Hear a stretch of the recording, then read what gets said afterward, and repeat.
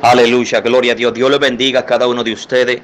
Para mí es más que un privilegio mandar esta nota de voz a través de este grupo. Gloria a Dios a cada uno de ustedes para que puedan escucharla. Hoy en día hay un problema terrible dentro de las iglesias. Dentro de las iglesias hay personas que no están avanzando. ¿Qué es lo que está pasando? Traigo la palabra de lo que está pasando. Gloria a Dios.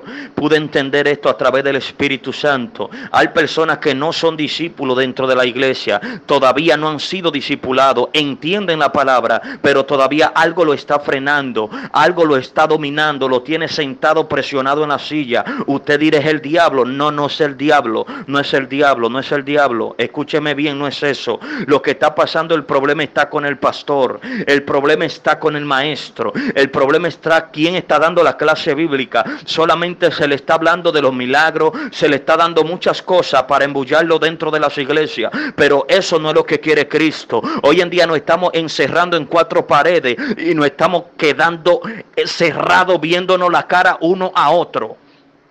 Pero esta es la palabra que tengo para los pastores, para los evangelistas, para todo aquel que tenga oído y pueda entender.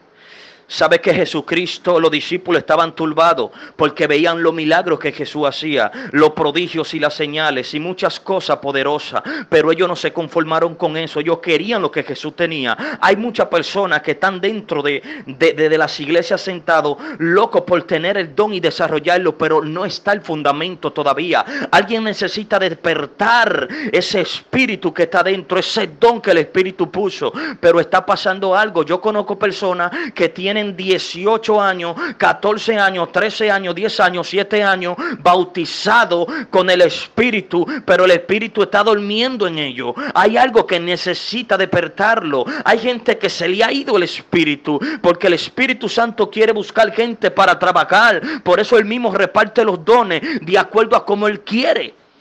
Entonces el Espíritu Santo quiere operar en, dimensiones increíbles. Quiere entrar por casa. Dice la palabra de Dios que en una ocasión Jesucristo, aleluya, sacaba parte siempre a los discípulos para adoctrinarlo, enseñarle enseñarle las cosas que ha de venir, enseñarle cómo tienen que llegar a casa. En una ocasión dice la palabra de Dios que Jesús iba caminando y entró a un pueblo y allí había un hombre llamado Saqueo, se subió en un árbol sicomoro. Dice la palabra que sucedió algo tremendo con este siervo. Dice la palabra de Dios que él, él procuraba ver a Jesús cuando pasaba, pero Jesús lo vio primero. Aleluya y le dijo, Saqueo, bájate de ahí. Hoy es necesario que tú y yo seamos amigos. Hoy es necesario que yo coma en tu casa. Hoy es necesario que yo pose en tu casa. Y dice la palabra que se hizo amigo, gloria a Dios. Necesitamos disipular, enviar personas para que hagan amigos y después de los amigos le entre el evangelio, aleluya. Pero de qué forma lo vamos a hacer, como lo están haciendo mucho hoy en día, que por eso siguen sentados, desencantados, porque lo han sacado de casa. ¿Por qué lo han sacado de casa? Porque cuando entran a una casa, lo primero que ven es unas idolatrías, unas imágenes, o ven un rosario guindando y dicen, y dicen, wow, siento a papá, como dicen muchos. Entonces, ahí comienzan a decirle, aquí está el diablo, hay que sacarlo. Escúcheme bien por una imagen. Escúcheme esto, aleluya. Y la gente dice, espérese, espérese, usted evangélico, sáigase de aquí. Yo creo en otra religión, así no nos vamos a ganar a nadie. Vamos a ser amigos, vamos a preocuparnos por lo demás. Si hay uno que está enfermo, ve y ora por él. Olvídate de la idolatría, olvídate del resguardo. Salve esa alma, que es importante que un tieto resguardo, que una basura de idolatría. Cristo lo que quita es eso de último, gloria a Dios. Dios lo que quiere es que la gente lo confiese. Que la gente venga a Él. Y después diga lo que le dijeron a Pedro, yo no tengo plata ni oro, pero de lo que tengo te doy. Pedro no vino a decirle al paralítico, aleluya, tú estás pidiendo porque eres un idólatra, tú estás pidiendo porque estás enfermo. No, no, él le dijo, yo no tengo plata ni oro, pero de lo que tengo te doy. Cuando tú seas un discípulo, vas a andar en estas dimensiones y muchas iglesias se van a llenar con uno solo. Con uno solo se llena la iglesia. Con uno solo basta que tenga el Espíritu Santo de verdad. Y con uno solo multitudes lo van a seguir. No eran a los discípulos que seguían, eran a Jesús. Lo seguían cinco mil. Él dijo, mayores cosas de las que yo he hecho, ustedes harán. Yo conozco pastores, amigo mío, que las congregaciones de ellos tienen 37 mil miembros, santos de otro país. Gloria a Dios. Yo conozco otro pastor y amigo mío que la iglesia de ellos pasa de los cinco mil aquí en República Dominicana. Santo. Yo conozco personas, hermano, pero ¿cómo es esto? ¿Por qué? Porque enseñó a discipular, enseñó a mandar por casa.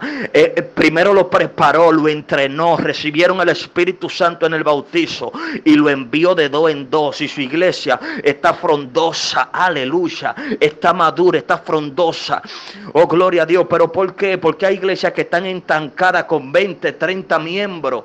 ¿Qué es esto? Con 50 miembros. Y siempre lo mismo. Usted va y predica y la misma gente, la misma cara. No había nadie nuevo. Hacen una actividad para los nuevos creyentes y nadie le va. Porque esta gente no tienen amigos. Esta gente lo que tienen es enemigo. Por criticar los católicos. Por criticar a aquella gente. No, hermano. Haga amigo, invítelo. Métase donde usted tenga que meterse y sáquelo. Dígale, hermano. Ven acá, vamos allí, vamos a compartir de esta manera. Ven que tengo una bendición para ti. Gáneselo de una manera u otro. Aleluya. Eso es lo que Dios anda buscando, verdadero discípulo. Pero de que nosotros vemos un católico con una Biblia, es hijo del diablo, se va a condenar. Es lo que decimos. Así no nos vamos a ganar a nadie. Mire hermano, yo me he ganado presidente de asamblea. Yo me he ganado gente religiosa. ¿Sabe una cosa? Una vez estaba yo levantando una congregación y había una doña que no se apiaba un rosario. Y yo le, hablaba del amor de Cristo, la abrazaba, comía con ella, bebía café con ella. Pero sucedió algo tremendo con una de mujeres. Yo dije, Espíritu Santo, a tu tiempo, calladito, aquí entre tú y yo tú le vas a quitar ese rosario. Yo no, estoy, yo no estoy enfocado en eso, yo estoy enfocado en su alma. Yo no estoy enfocado en lo material de ella, que ella carga guindando, tenga guardado en su casa, lo tenga canchado en una pared. Yo estoy enfocando, yo me estoy enfocando en esa alma, porque dice la palabra que por un alma que tú traigas a los pies de Cristo, se te suma una estrella encima de tu corona y hay fiesta en los cielos. Eso es lo que Dios anda buscando. ¿Cuántas almas tú has ganado? ¿O cuántas almas tú has criticado? Dios anda buscando gente que sea conquistador. Gente que sepan tirar las redes. Gente que tenga estrategia y saber cómo tú atraes ese pez. Ese pez a tu mano para poder traerlo y disfrutártelo. Oh, gloria a Dios. Eso es lo que Dios anda buscando. Gente que deje la crítica. Gente que deje estar metiéndose tan profundo en la Biblia. Y comience a ganar alma para Cristo. Un pastor se goza cuando vi una oveja pariendo y diciendo, pastor, le traje otro aquí, aleluya. Este hijo de Dios también, por cuanto también es descendiente del padre Abraham, como le dijo Jesús. Oh, gloria a Dios, a saqueo. Y el pastor va a decir, wow, wow, wow, wow. Habían 30 sillas vacías y esta persona la llenó. ¿Qué es lo que él tiene? Y entonces el pastor vas a cambiar las ideas tuyas, vas a pensar diferente. Oh, gloria a Dios a través de ti. El que estaba sentado hoy está ganando alma para Cristo. Pero ¿de qué forma? El amor, el amor lo, cura todo. El amor lo rompe todo. El amor, por amor vino Cristo a la tierra. Pero estamos predicando, ¿sabes? Como si tuviéramos adolorío, como si nos dieran cuatro palos a nosotros, como si estamos encojonados. ¿Qué es esto? Estamos irados y la gente no nos hace caso. Somos personas que predicamos y a la vez estamos vacíos. Predicamos con tanta autoridad y la gente con tanto problema, hermano, hable del amor. Que cuando usted habla del amor y predica del amor, multitudes lo van a seguir. ¿Sabe qué? El dolor, ¿sabe qué? Cuando la gente, entonces le predica a la gente cuando tiene conocimiento. Pero el que no tiene conocimiento lo que necesita es una sanidad. Escúchame bien, cuando tú vas al médico, lo primero que el médico le dice, ¿qué le pasa? ¿Cómo está? Buen día lo atiende bien, lo recibe bien, porque usted viene enfermo y usted viene y le cuenta la situación a quién,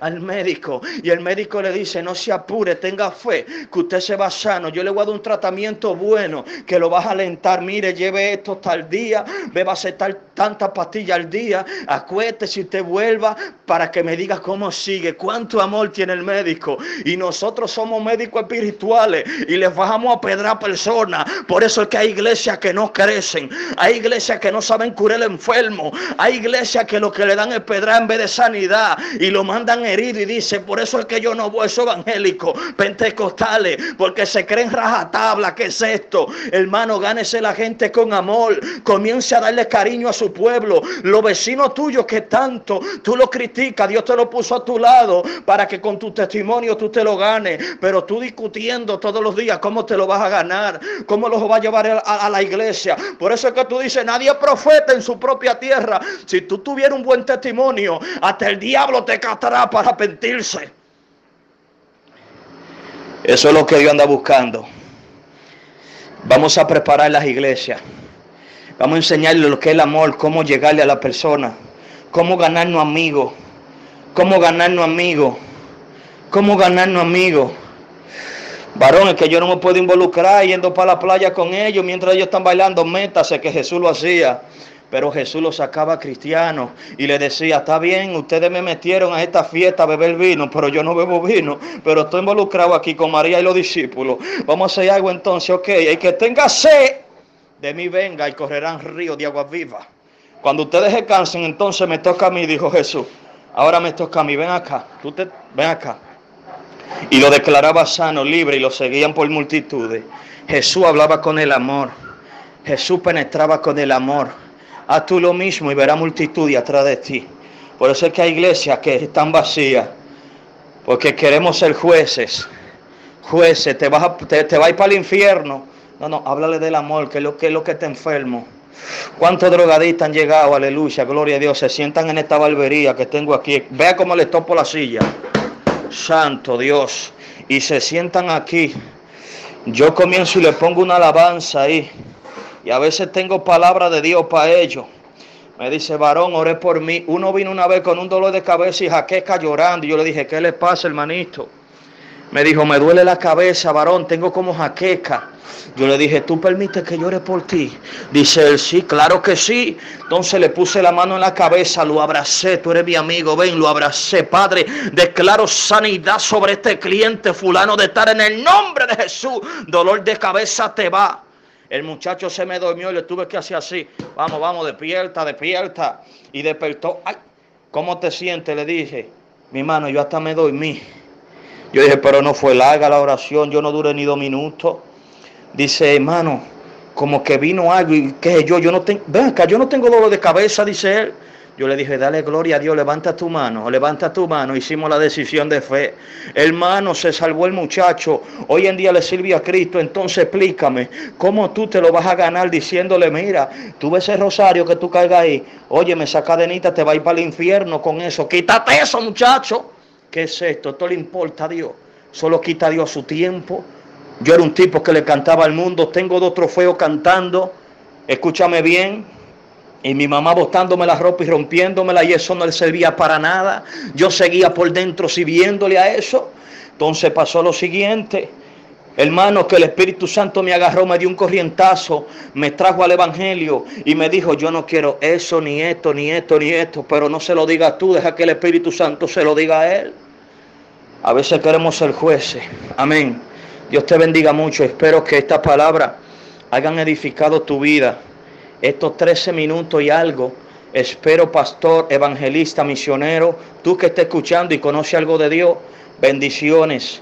Dios lo que quiere multiplicarse, preñarte del Espíritu Santo, parir y multiplicarse a través de ti. A través de ti, los frutos, por tu fruto te conoceré, dice la palabra, los frutos del Espíritu. Y escúchame bien, y si tú tienes fe, muéstrame las obras, porque la fe sin obra es muerta. Necesitamos evidencia de lo que te ha ganado para Cristo. Necesitamos frutos en la mano de Dios. Y el Espíritu Santo no le pida dones si tú no estás trabajando. No le pida dones a Dios si tú no estás trayendo alma a los pies de Cristo. Así que Dios te bendiga mucho. En el nombre de Jesús.